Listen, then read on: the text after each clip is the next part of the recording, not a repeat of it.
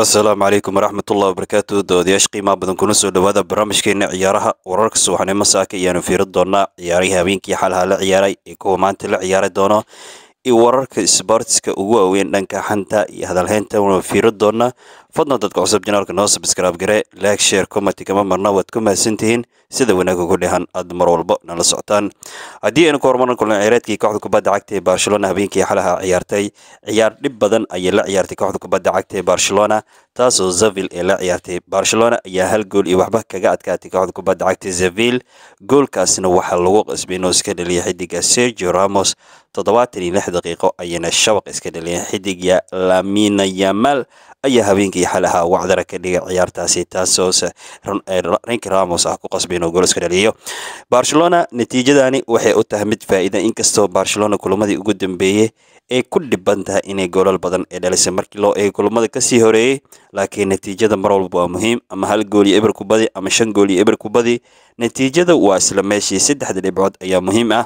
Barcelonana mar kale ayay sevilia garaacday iyadoo sevilia barcelona markii loo eego sevilia ee uu jilcan tahay kooxda kubadda cagta ee barcelona. Barcelona natiijadaas ayay gaatay hal gool iyo eber ayayna ku adkaatay. Horyaalkana iyada ayaana si kumeel gaar ah sii hayso waynu eegi doonaa jerona iyo real madrid laakiin hadda barcelona way guulaysatay horyaalka iyada ayaana haysa dhanka kale kulamo kale ayoo la ciyaaray ayaa jirta. Haddii ayna fiirino horyaalada kaleeto ronaldo kooxdiisa alnasar ayaa habeenkii hali ahaa altet kaga adkaadeen laba gool iyo hal iyadoo taliska iyo ronaldo ay shabaq gaareen.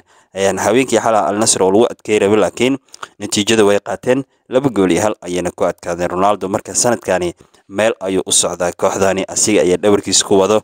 Natiijada way gaareen wayna guulaysteen kaalmaha ugu horreeya ayayna hadda kaga jiraan iyagoo ay guulaysteen kulamo xiriir ah keliya markii laga reebo labada kulan ugu horeysa oo laga adkaaday ronaldona gool tariskana gool maanina wacdaradiisa asina wuu sii wataa. Laba gool iyo hal ayay alnasar ku adkaadeen. Dhanka kale kulamo la ciyaarana way jireen. Alhilaal ayaa iyadana laba gool iyo eber al-shabaab ayay dirtay. Waxaana dhalin kalido kulubali iyo alexander mortovich inkastoo neymar ilaa ay hadda laga yaaban yahay kooxdani waxba ma uu qabanayo. Laakiin sidaas ay tahay waxaa la qabsaday kooxda ayaan dhihi karaaba. Alexander mertovich oo kulan walba gool dhalinaya laba gool iyo eber ayayna ku adkaadeen kooxda kubadda cagta ee alhilaal kulamadii la ciyaara habeenkii xalay ahaa kulamadaas ayayna ahaayeen. Sidoo kaleeto kulamada maanta la ciyaari doona haddii aynu fiirino waxaa premier league ayaa kulamo aad u badan. Sideed saaci bar brighton ayaa bilaabi doona natiijada waad la titleka arsenal shanta galabnimo ayaa ciyaari doontaa manchester united kooxaha waaweyn ayaan keliya eegi doonaa. Koo iyo toban sac crystal palace ayayna la ciyaari doontaa. Anagoo ogeyn wiigii dhammaaday manchester united in crystal palace league cupka ay ka reebeen. Manchester city wolves ayayna la ciyaari doonaa isla shanta galabnimo hal saaci barna kulan big match ah. Liverpool iyo tottenham. Tottenham oo sanadkan laga yaaban yahay batislu liverpool wixii laga yaaban yahay iyaga ayaa meel saara marka iyaga miyaa meel la saari doonaa mise iyaga ayaa meel saari doonaa? Sparis waynu fiiri doonaa natiijadaasi. La liga d real madrid ayaa ciyaari doonta kooxa waaweyn. Alla girona ayaaba la ciyaari doontaa caawa kulan adag hal saaci bar katalaanka ayayna booqan doontaa real madrid. Alla kulankaani waa kulan adag. Labadan kii badiya ayaa hogaanka sii dheereysanaya. Micnaha real haddee badiso hogaanka iyada ayaa qabanaysa girona haddee badisana alla girona sanadka meel ayay u socotaa hal sac ayay barayso gali doontaa. Kulankaana waa kulan adag. Kulamada kale la ciyaari doona waa kaas dhanka kale zere eda napoli ayaa ciyaari doonta leja ac milan iyo lazio kulan adag iyagana hal sac ayay ciyaari doonaan inter iyo salorentana sagaalkii afartan iyo shan daqiiqa bundesliga kooxda ugu waaweyn kooxda ugu weyn ayaan fiiri doonaa bayer iyo rb lisbak toban sac bar kulan adag. Bayer leverkusen waa ciyaari doontaa dhanka faransiiska haddii aynu eegno paris saint germany ayaana labayo tobanka ciyaari doonta olympic ze iyo manokana afar sac ciyaarda kulamadaas uu ku soo kordho barnaamijyadeena dambe ayaad ku maqli doontaan. Haddii aynu fiirino sheekooyinka ciyaaraha ayaanu eegi doonaa. Xidiga habeenkii xalay ahaa goolka dhaliyay lamin yamal waxaa la sheegayaa toddoba sano ka hor wuxuu ahaa kulan el clasico barcelona iyo kooxda kubadda cagta real madrid ciyaarayda. Waa toddoba sano ka hor ah sergio ramos ayaa ninkaani gacanta ka sida waa hadda waad u jeediin ninkan fiiri? Ninka hadda sergio ramos gacanta ka wado waa ninka lamin yamal. Habeenkii xal ahaana uwa waale. Ninkaani ayaana kooxda kubadda cagta ee barcelona markii loo eego lix iyo toban jir u yahay. Goolka uu iska dhaliyana ninkaani ayaa habeenkii xala wacdaradaas ka dhigay.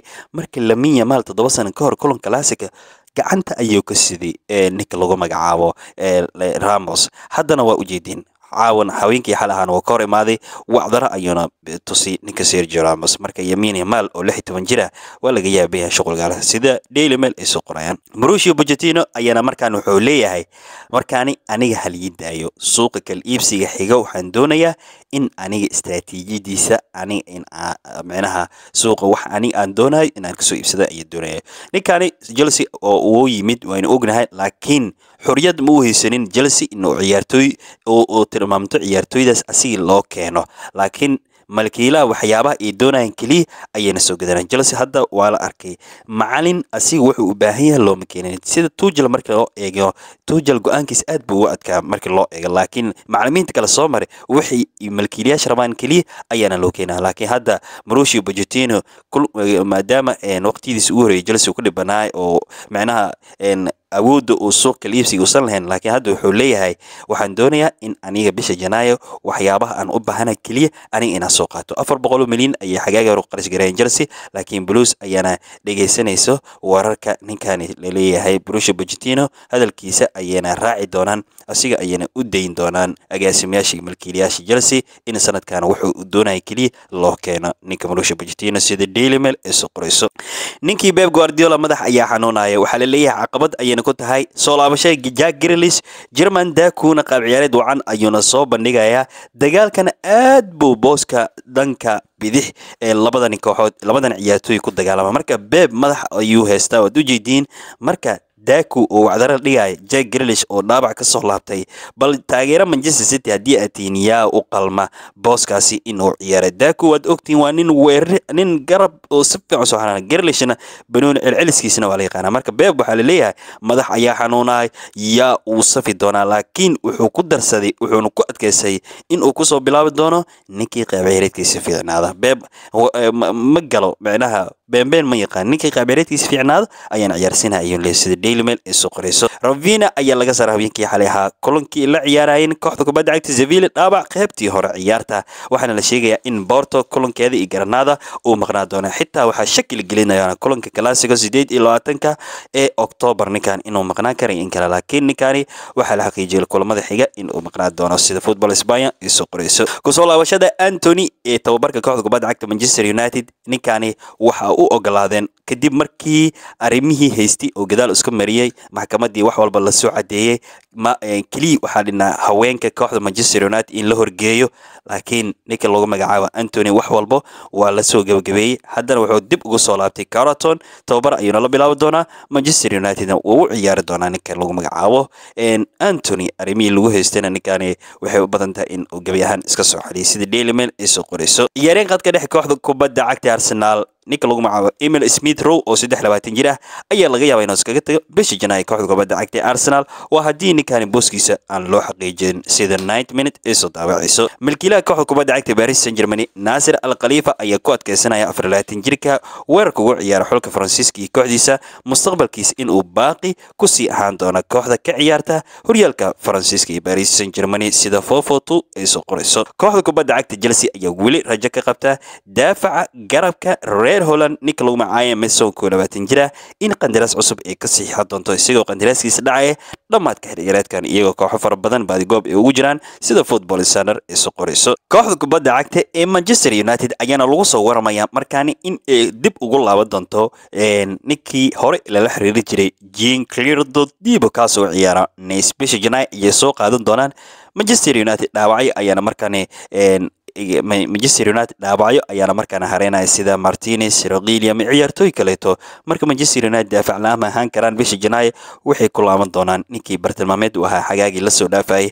Jean clearto iyo bisha janaayo ayayna soo qaadanaya kooxda kubadda cagta manchester united sida gool ay soo qorayso. Xitaa waxaa la sheegaya ciyaaryahan kaleeto bayer leverkusen uu ciyaaro in ay doonayso man united sida romano uu soo daawacayo manchester city ayaana kula biirtay tartanka kooxda kubadda cagta ee chelsea daafaca kooxda kubadda cagta inter milan Federico Di Marco shan iyo labaatan jir ah. Manchester City waxay doonaysaa xiddigan in ay soo qaataan Chelsea ayana tartan la galayaan sida shabakada Calcio Mercato ay soo qorayso. Kooxda kubadda cagta Barcelona kaliya waxay gaadaa ciyaartooyda in kooxahooda ay ku dhiban yihiin in ay la qabsadaan iyo in ay isku dhacaan iyo in kooxda ay la qabsi waayeen waxyaabahaas ayay Barcelona gaadaa in lacag yar ay ku soo qaadato ama inay amaah ku soo qaadato. Haddana waxaa la sheegayaa laba ciyaartooy Manchester United John Dos iyo Anthony. Oo xaaladood ay ka warqabto Barcelona liiska ayaa ugu jira inay soo qaataan iyo ciyaartooyda Arsenal sida Kai Havertz iyo Jorginho oo ku wareysan kooxda kubadda cagta Arsenal. Afartaas ciyaartooy ayaana liiska ugu jira kooxda kubadda cagta Barcelona in ay la soo wareegaan iyagoo qiimo jaban ay ku soo qaadan doonaan ciyaartooydan qaarna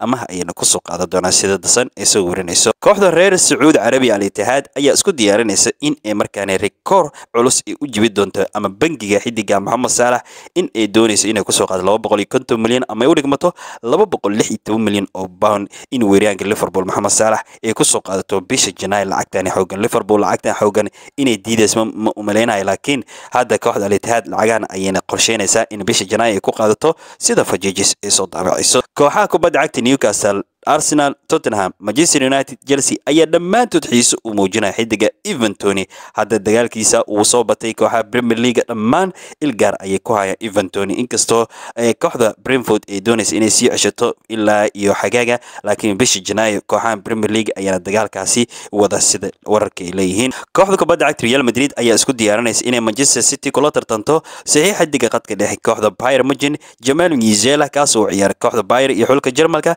sanada madrid ayaana soo gashay tartankeeda xilli manchester city ayna ogeen xidigan xiise inay u qabto sida fajijis ay soo daawacayso kooxo badan ayaana manchester united ay ka mid yihiin liverpool brighton westham barcelona ayax ayaa dhammaantooda isha ku hayaan horumarka siddeed iyo toban jirka ninka lagu magacaabo royal andrick xulka qaranka belgium oo ciyaarkooyo labaatan jirada arthur firmin ninka lagu magacaabo.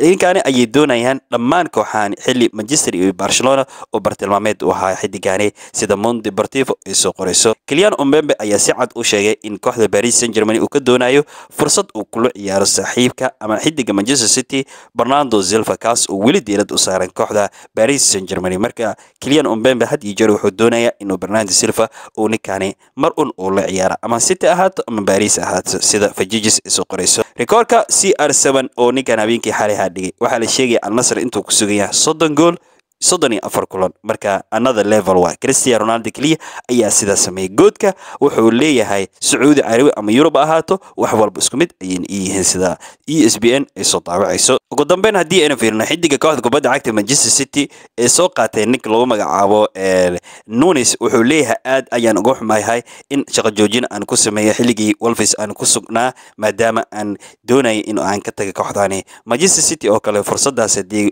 ay ku soo marto marnaba layskama beerdaray kara ayuuna leeyahay ninka lagu magacaabo mendes isagoo aad ugu xun in kooxda kubadda cagta wolfis oo ninkaani dagaal uu ku sameeyey xilligii uu ka tagayay konton iyo milyan ayuu mancity ugu biiray wuxuuna doonayaa in uu ku laabtay kooxda wolfis in uu la ciyaaro ayuuna doonayaa oo ninkaani ka hor yimaado sida dasan ay soo warinayso. Intaa ayaa ku soo koobaynaa wixii ku soo kora barnaamijyadeena dambe ayaad ku maqli doontaan. Wasalaamu calaykum waraxmatullaahi wabarakatu